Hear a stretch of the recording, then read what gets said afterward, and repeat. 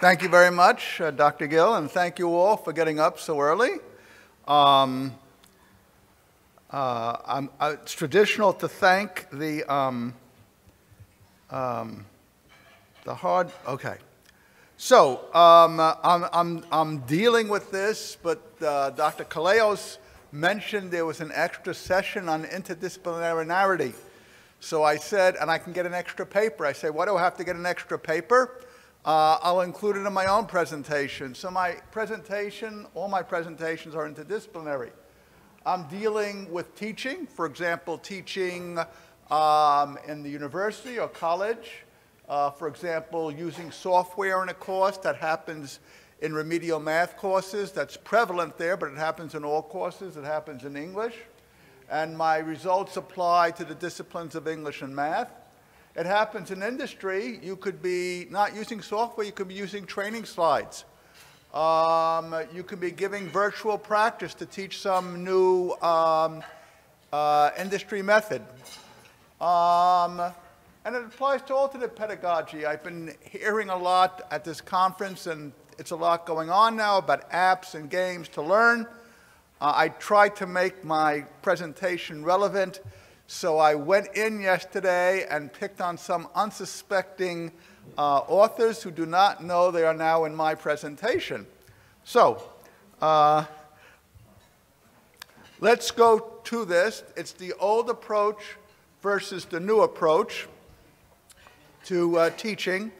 So let me first give you what the old approach is. Uh, in the old approach, you asked if it worked. So there's a pre and post test. Um, there's a before and after. Uh, you might use a t-test on, on uh, sufficient uh, samples in the before and after. You publish a paper and say this worked, and you know, then everyone says this works, let me use it. Uh, part of the problem with the old approach is a version control mentality. If something's not present, you'll say, we'll do that in the next build, and you rely on the software. The software is good, you rely on it, anything not there, it will happen later. Uh, that's for software. For presentation aids, there's a lot on the internet. I thought I'd mention the work of Marzano. So just to give the history here, um, in the 1950s, a person named Abraham Bloom uh, started uh, the whole analysis of pedagogical excellence. What he did is he gathered a team of psychologists and said, there's a hierarchy that starts at things like memorization and ends in things like creativity and analysis. And you're at a high level if you're doing the top six, and you're at the bottom level if you're doing the first two. And this caught on like wildfire, and everyone had to conform their teaching to the Bloom taxonomy. Now, 50 years later, several things happen. A student of Bloom, Anderson, revised his taxonomy. The revision basically used uh, verbs instead of nouns, but there was a person named Marzano, and he said, well, wait a minute, we have 50 years of research. We have people doing training in industry. We have people using software in, um, in teaching. So the issue became what works and what doesn't work. So Marzano came up with nine, his famous nine uh, pedagogical aids that work. They're over there because they're only nine. Uh, something is, something is going to aid in retention learning if there are similarities and differences emphasis on commonality, if there's summarizing, if there's recognition to people when they do the right thing, if there's homework and practice, non-linguistic, uh, cooperative learning, if objectives are clearly stated, uh, with feedback, hypothesis testing, questions, cues, and other uh, things to open. So if you go to a presentation where people ask all the time questions and cues, that'll be better than a presentation that doesn't. If you go to a presentation that summarizes or that has similarities and differences, that'll be better than one that doesn't. So this is the old approach, and of course it works, but I'm going to give you a new approach where the basic idea is to concentrate on instruction versus software. So the basic idea is I'm not going to ask about the software. I'm going to ask about the instruction. My question is not, does the software work? I don't care if the software works. I care, is this software feature reflective of good instructional practice as embodied in the four pillars of good educational practice? I'll go into that in the next slide, and then the rest of the presentation will be examples. So let me just elaborate on this. The first thing I ask is not what software I will use, not what works. The first thing I will ask is how will I teach well? How will I instruct well? What are the principles of instructing well? Then when I decide how I'll teach, I'll say, is there some software out there that meets the features I want? Uh, and the point here is the emphasis is going to be on software uh, and the emphasis is not going to be on, um, uh, the emphasis is going to be on instruction and not on education. Okay, let's first discuss the criteria for pedagogic excellence. This came from a book that was published uh, last year. Um, in fact, the authors used to come to this conference regularly, uh, Styron and Styron, uh, Leadership for Improving Success Through Higher Cognitive Instruction. I was a co-author, and this occurs in uh, one of the chapters, Comprehensive Problem Solving and Skill Development for Next Generation Leaders. In that chapter, I advocate four pillars of educational excellence, and this summarizes and replaces, and it's easier to use than Bloom. To learn Bloom or Anderson or even Marzano or Gagne or any of, or von Hiele, any of the people who've been involved in education, you have to learn a classification system. Once you learn the classification system, for each classification, like, um, like uh, critical thinking, like uh, deep thinking, or like memorization, you have to learn a lot of synonyms, and then you have to learn how to, how to approach them in various situations. What I'm doing is going to be very easy to recognize. There's almost no work. You don't need training in it and it's just as effective. So the four pillars are executive function, goal setting, attribution theory, and self-efficacy. So let me just briefly explain to you what each one is. Executive function is the portion of the brain that deals with multiple areas. So I'll give you a simple test that illustrates this. Uh, there's something called the trail making test. You have a piece of paper with 25 numbers and you're asked to make a trail. So you do one, two, three, four, up to 25. That's the A test. The B test has 12 letters and 13 numbers, and you're asked to do 1A, 2B, 3C, etc., until you use 1A, 2B, 3C, until you use up all 25. Now, the B test always takes longer than the A test. And this test may appear simple, but it's used by neurologists, it assesses the possibility of, of stroke damage, of recovering from stroke and everything else, even though it's a simple test.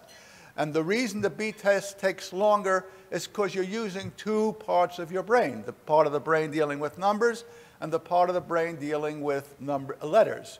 So there's a difference. If I say one, two, three, four, five, I'm using one part of my brain. If I'm saying one, A, two, B, three, C, even though I know the numbers and alphabet quite well, I am taking longer because my brain has to use its executive function capacity to, uh, to make that very simple list. So I don't need Bloom or Anderson or anyone to tell me about analysis or application or creativity. I just ask if there are two areas of the brain. As soon as you find two areas of the brain, no matter how simple, even if it's as simple as numbers and letters, which everyone knows, um, you have executive function and your pedagogy is higher. The next pillar is goal setting. Uh, there's a rich literature going back, going back to the 60s of the last century, really starting in the 90s, I imagine. Uh, basically, if you go into an industry setting or an educational setting, I think there's more literature on the industry. So we want productivity. And the issue is this why is it sometimes a group or people will produce more and sometimes they'll produce less? And one of the issues is what types of goals are you setting? And there's literature on this. We'll get into some of the uh, literature later, but the point is Goals have to be clear, they have to be clearly defined and measurable. They have to be achievable short time, and um, they have to be challenging. By the way, could I have quiet in back there? I mean, the, the, they announced yesterday the microphones are very sensitive, so um, I'd appreciate it. Uh, they have to be challenging. If you go to two employees and give one of them a simple task and another one a challenging task, the person with the challenging task will probably produce more than the person with the easy task. That sounds paradoxical because the person with the challenging task has more difficulty, and we refer to that as the paradox of goal setting, but that is what goal setting is. It's the way you set your goals. The third pillar is attribution theory. So this has to do, uh, and it applies a lot to school, it applies to business. You can ask a student, why are you doing well? What, you can ask an employee, why is he or she doing well? Now, you could say, because uh, I have the skills for this and I know how to do it. You can refer to the self. We call that internal attribution. Or you can say, because I happen to know the boss, I happen to know the teacher, or my family is very important, and that's attribution to an external source. So we have internal and external attribution. Uh, the other, th other dimension that's important in attribution theory is effort. Again, why did I do well on the test? I don't know. I was lucky. I didn't really study. Or what I do well on the test, what I get this promotion, well, the boss likes me. Um, so, uh, or because I've been putting a lot of effort into this project and they need someone like me to lead it. So what attribution theory has found is that when students and employees perceive, so it's perception, when they perceive um, their success as dependent upon their efforts, the emphasis being on what they do and on effort, they, uh, they will more likely to succeed than when, um, when it's perceived as being external. Uh, I saw a very nice illustration of this. Uh, the issue involved was how do you increase people getting mammograms? Okay, you're not training people to do that, but you want people to do that. And attribution theory explained there was three treatments, and they differed in one word. So the message a doctor could give, they could say, you know, when you have mammograms, when a person has mammograms, it, it, it helps in diagnosing breast cancer. And here the, the emphasis is on when one does it. The second treatment would say, when you get a mammogram, your doctor is more, uh, can help you, can, can see quickly if, if, if you need further treatment. So there the emphasis on the doctor. And the third treatment is when you get a mammogram, you can find out if you need further treatment. So the issue is who is being helped? The one in the world, the doctor, or the person? So it's a very simple difference. They did this to three groups, and the group to which internal self uh, motivation was given. You can determine it. Uh, they, of that group, the most people went for mammograms. So this is important material. There are lots of papers on all these things, but self and effort are important. The fourth pillar is self-efficacy. So just some background on that. Prior to 98, psychology was unconscious. Why did you do something? Well, you yourself don't know. It's because of unconscious desires, which you don't know about, and unconscious needs. So it's very hard to deal with the person then because you yourself don't know what you're doing.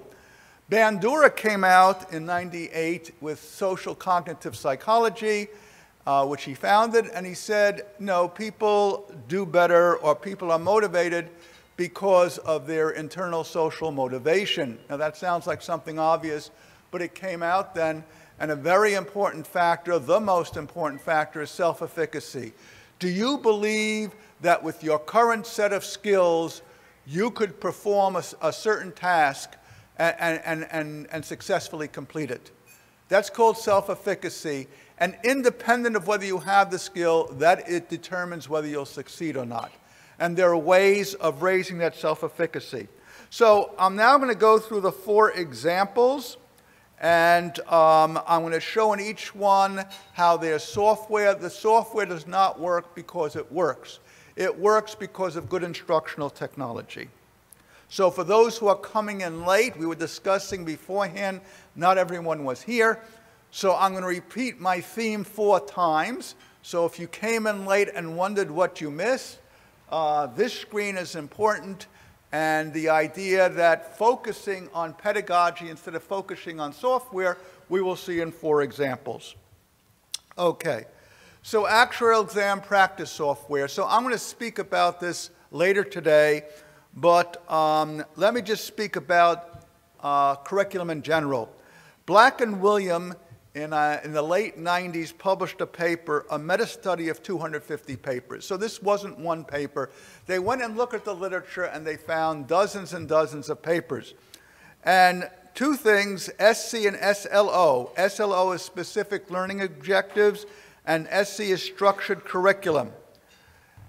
If a curriculum was structured, and I'll go into that in a minute, and if it had specific learning objectives, the average grade rise, the average grade was like half a letter more. So um, these are important instructionally. What I'm going to do now is explain what SC and SLO are. Then I'll relate it to the four pillars, because as I said, you don't need all these papers. You just have to see if something belongs to the four pillars. And um, that will be that example. And, that is, and then I'll show you why software that helps with uh, these features is going to be good. First of all, what's structured curriculum? Structured curriculum basically means a hierarchy. So I took an example from the theory of interest, which is part of the actuarial curriculum. You don't have to know anything technical. You all know what a loan is. So there's a unit in the course that deals with loans. There's a unit in the course that deals with bonds. You all know what bonds are. There's a unit in the course that deals with annuities. People, when they retire, sometimes take an annuity. And then the annuity module has submodules. One module might be level annuities, where the payments you get are level. Another mod, submodule might be increasing annuities. You get so much this year, so much more next year. The increasing annuities can be inflation uh, uh, adjusted. So I get so much this year, and next year I get 2 or 3% more because the cost of living is going up. That's an example of increasing an annuity. Then there are decreasing annuities, um, and there are various other types of annuities. The point is, when I start speaking about level annuities, increasing annuities, decreasing annuities, I'm speaking about a very specific topic. I'm not speaking about a general topic. And that's uh, an example of specific learning objectives and structured curriculum. The curriculum is organized in a hierarchical manner, and it contains very specific objectives and, and that, that is the basis for the instruction each day. And when that happens, the average grade is half a letter higher, and of course, students are happier and they learn better. Okay, let's look at what I just spoke about hierarchical curriculum and specificity. Hierarchy uses executive function. There's a top layer and a bottom layer, so two parts of the brain are being involved. When I look at um, I look at something in the interest theory module. I'm thinking of the supercategory of interest. I'm thinking of the subcategory of annuities, and then the sub-subcategory of, um, of particular types of annuities. And, and this is important. Uh, specific learning objectives deals with specificity and clarity. So specificity and clarity deal with the goal setting uh, um, that I mentioned. It's one of the four pillars. And again, goal setting deals with something that's achievable short time, uh, specific and challenging. So just to give you an example, if I walk into a room and say I'm going to cover annuities today, I haven't been specific. I've given a very vague uh, goal. You'll say, well, annuities is technical, uh, but that means it's vague to you also. If I go into a room and say, I am dealing today with inflation-adjusted annuities, so they'll pay you, a, they'll pay you $1,000 a month the first month in the first year, and the next year they'll pay you uh, $1,020 because of inflation. I've just, even though you don't know anything about the technicalities, I've just given you a very specific and clear objective. And I'm going to say, I'm going to teach you today how to price such an annuity. Well, that's something specific. And I'm going to show you the formula or method. I'm going to show you how to do it. I'm going to show you the problems that are, that, that are involved. And that is an example of something achievable short time. So the goal setting is present when you have specific, specific learning objectives and structured curriculum. And um, therefore, software is good because instruction is good. I don't need further testing. Does my software have specific modules? And does my software have structured curriculum? So let me give some further examples on this. The software is only good if you teach using structured curriculum and specific learning objectives. So you'll have studies, well, this software worked for this person, this software did not work for that person. And the study will not have the added variable of what instruction method did they use. If I use the best software in the world, but I'm a lousy teacher, if I don't use the four pillars, it's not going to help anyone because my instruction is bad. The instruction, on the other hand, if I'm a good instructor, I don't need the software. The software may help me, and I'll show you how. So in, instruction, not software, is the major driver. Uh, and I, I'll give an example on the next slide. I had some software where the solutions were mechanical. They had long lines of algebra, and at the end, the solution came up. Now, that's not a way to teach math. Maybe it was the way you've learned math, but it's not the way to teach math. Deborah Hughes Hallett came out with what's known as the rule of four. The rule of four says that everything you teach in mathematics should have a formula, it should have a picture, geometry, it should have a computation, and should have some verbal component. Those are the four things. So I wasn't going to say, well, the software doesn't have it, I'll wait for the next build. Instead, what I did is I'll say this software can help me in one part of my instruction, and the other part of my instruction, I'm going to supplement the software, and if they come around to giving me this, you know, I'll use it. But in the meantime, I'm going to be uh, instructing my students well. So uh, I just mentioned this. Executive function is the rule of four. Of course, this involves four parts of the brain. Uh, for example, what is a maxima? Well, uh, you can see a maxima. Uh, if you look at a U, the bottom of the U is the minima. That's geometric. If I show you a table, the minima is the smallest number. That's computational. Um, and, if I use the first derivative test, that is something formal and algebraic. I'm using three areas of the mind. And Deborah Hughes Revolutionized calculus by introducing this. Uh, the software did not have the rule of four and the solutions. They would have 10 lines of algebra. I'd go to my class, maybe have three lines of algebra, a picture, and, some and two lines of computation. But the point is, all areas of the brain were being uh, used. And uh, so I, I, wasn't in the slide, but I'll mention it. Um, so the software I'm using, and I'm speaking about that tonight, so I try not to overlap the two lectures, um, it has 1,500 problems, but the 1,500 problems are organized in a structured curriculum with specific learning objectives. Supposing I'm a student and I just heard my lecture on inflation-adjusted annuities. Will I go to the software curriculum, I go to annuities, and I go to um, I go to, I, I go to inflation-adjusted geometric annuities, and I get problems on that particular topic. That's what I mean the software is helping me instruct. It is mirroring the, the structure curriculum and specific learning objectives. So that's our first example. The second example, um, I just went through uh, Marzano's nine uh, items. And uh, I was going to spend more time on this. I see I spent more time on the annuities, which is fine. I want to spend time on the lecture I heard yesterday here. So I'll just go through this. Marzano says to use tables, similarities and differences. Well, that's two-dimensional. That's executive function. He said to summarize, so you have a basic hierarchical idea and then examples. Like in this lecture, I said uh, instruction versus software, and then I gave four examples. That's executive function. There are two layers. Recognition, recognizing students, that's attribution theory. That's saying you made a nice effort, you did it yourself, and you should be recognized. Practice, now everyone knows about practice, sometimes that's a dirty word, but practice uh, leads to success and performance. Success in performance is the highest driver of self-efficacy. Non-linguistic is pictures, that's executive function. Feedback, um, that's goal setting. I go into dart throwing experiments, but all I can say is they found when you set goals, if you have feedback, you'll get better results. Questions and cues, that is called open-ended executive function.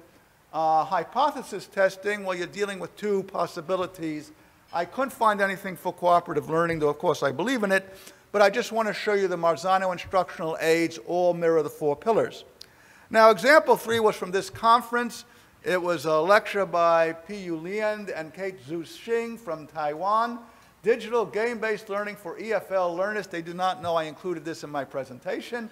Students' acceptance and perceptions of vocabulary learning assisted by mobile game applications. And their, their talk was, um, can mobile games help improve vocabulary? The answer was yes. And she explained why the software was liked. There's a reviewing function, a well-structured uh, game and thematic vocabulary da database. So let me go over these things. Reviewing function simply means the game will tell you if you're doing well. Well, that's feedback, and that's a major success factor in goal setting. And I mentioned the dart throwing experiments. I won't go into them now. That will take me a little bit of while. But part of goal setting is giving an employee or student feedback. You did this right. You did this wrong. Improve this. Don't improve that, and things like that. Uh, Structured design, so I asked her, what does that mean? She said, well, there's a beginning level, a medium level, and a higher level. Challenge is part of goal setting, and goal setting is a major pillar. Employees and students do well when you give them a challenging task that is not easy. And uh, that's true, by the way, in the, um, in the actuarial software, there are 10 levels of difficulty. Uh, um, a major approach to goal setting, I've already mentioned this, it should be well-defined, challenging, and achievable short time. And the software, again, the actual software has 10 levels of difficulty. And again, this is only successful if it's part of the instruction. I'll go into a classroom at the beginning and say, I'm going to give you easy problems today because you saw this for the first time. Then after a few weeks, I say, okay, you've seen the easy problems. I'm now going to give you challenging problems on the level of the SOA exam that you hope to pass soon. Uh, thematic vocabulary database, I said, what is that all about? She said, well, the game gives hints. If the answer, answer is zebra, they'll say animal. If the answer is um, rose, the hint will be plant. So this is using the hyponym hypernym concept. Uh, just to refresh your memory, the hyponym hypernym, that's a category like plants, and then the examples, hyponyms and hypernyms like roses, lilies, etc. The emphasis on two layers is executive function. And uh, good, this is the last slide. Uh, attribution theory. So I just mentioned this is very important. Students and employees must perceive that they are succeeding because of their own internal, uh, their own internal um, uh, activities, and those activities deal with effort. Uh, if they think it's due to luck or some external factor, they are not motivated to learn and their actual performance will be less. And that's the old idea that ordering someone to do better will not make them do better. So all the software, the word games, the math, and the English, there was an emphasis, the emphasis is on their being objective. If a software says I didn't do a problem, it's not because the teacher doesn't like me or they use something subjective. The machine is grading it. That means it's subjective. This has nothing to do with luck. It has to do with whether I know the material or not. Uh, attribution theory says self plus effort is best, and it's contrast to who you know and luck. And I just thought I'd close. So I put this at the end in case I didn't have enough time, but I do, I, I, I'm running out of time, so I'll just mention you might think this, not, this does not apply to essay writing. In essay writing, why'd, I, why'd you get an A? Well, the teacher really liked my style. That's very poor. That student will not do well. Jones and Faulkner, and they wrote uh, a book on college writing, and their book emphasizing, emphasizes skills and efforts. There are five ways of linking two sentences together. Once you have sentences uh, developed, there are four ways of making paragraphs, and then there are ways of making essays. So they have a collection of skills. If you follow those skills, you'll do well in writing, and if not, not. I don't know if anyone put it into software, but the exercises are the equivalent of software in that you can practice. So this basically is the end of my presentation. So first of all, I want to thank you for um, listening. There'll be a question and answer session later for those who came in late. I see quite a few. Again, my theme was that you have to worry about instruction. Instruction are the four pillars, and um, uh, not the software. The software is good only if it helps you in the instruction. Thank you very much.